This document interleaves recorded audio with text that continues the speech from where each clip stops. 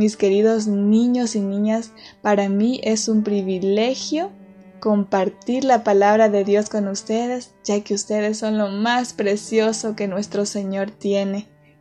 Hoy el devocional lleva por título Como nos oye Dios. Ustedes pueden buscar en su Biblia en el Salmo 34:15 nuestro versículo para memorizar. Los ojos de Jehová están sobre los justos, y atentos sus oídos al clamor de ellos. Tú necesitas tus oídos para oír las orientaciones de tus padres, las palabras cariñosas de tus abuelos y las demostraciones de amistad de las personas que están cerca de ti. Y las personas también usan los oídos para entender lo que tú dices lo que pides o cuentas. Pero Dios es diferente. Cuando Él nos oye, no se limita a los oídos.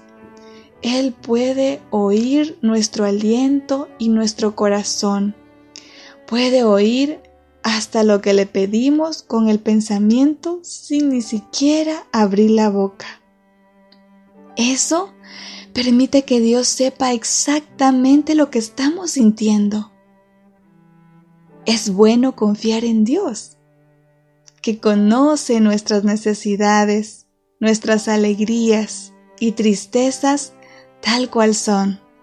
Hoy, después de tu conversación audible con Dios, aprovecha y haz una oración silenciosa, simplemente pensando no te preocupes, pues Dios oirá. En este momento te invito a que cierres tus ojitos porque vamos a hablar con Dios. Muchas gracias, mi Dios. Muchas gracias por oír mis oraciones. Amén. Amiguito y amiguita, que el Señor te pueda bendecir.